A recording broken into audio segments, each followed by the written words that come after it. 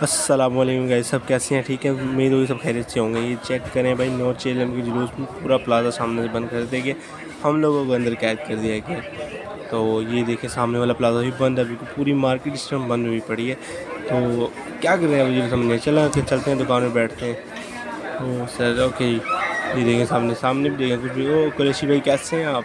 कुरेशी भाई, आगे सामने देखें पब्लिक घूम रही है।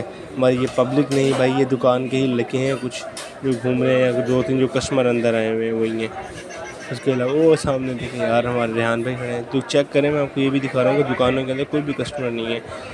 रेहान भी खड़े हैं सामने। जी, रेहान भाई, कैसे हैं आप? रेहान भाई रेहान भाई, मुझे क्या ब्लॉग बना रहा है? मैं क्या हाँ ब्लॉग बना रहा हूँ। कहता लाइक सब्सक्राइब तो कोई करेगा नहीं। मैं कहा, नहीं नहीं पब्लिक ज़रूर करेगी लाइक सब्सक्राइब चलो, आगे बढ़ते हैं, दुकान की तरफ़ चलते हैं, या दुकान में बैठते हैं।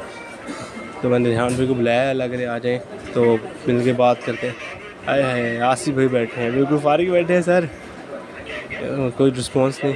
मुँह पे बेचती चलो, कोई बात नहीं।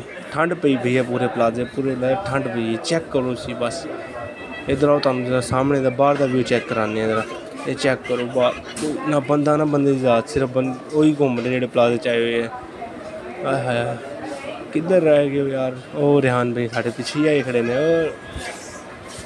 चलो आओ फिर बैठो जी यार चलो भाई को पूछते की व्यू है दुकान का दसो सर की व्यू है ठंड पई है प्लाजा भाईजान ਤੁਹਾਡੇ सामने ही है सारा कुछ भाईजान ने तो कह दिया है कि बिल्कुल ठंड पड़ी हुई है दुकान में चलो प्लाजे में ठंड तो पड़ गई है चले हम थोड़ा सा तो आप भी ठंडा डाल दें हमारे सीने में लाइक और सब्सक्राइब कर कर यूट्यूब चैनल के बेल आइकन को दबा कर नए नए छोटे छोटे स्मॉल ब्लॉग देखने के लिए।